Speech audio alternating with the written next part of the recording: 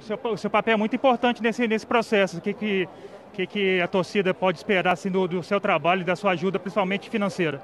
Não, gente, não é minha, não, é de todo mundo. Eu acho que o Atlético hoje é um time com administração profissional, bacana, bem feita, é muito bem organizado, salário em dia, né? Todo mundo quer vir. Por que, que o Diego Costa vem para cá? Porque sabe que é legal.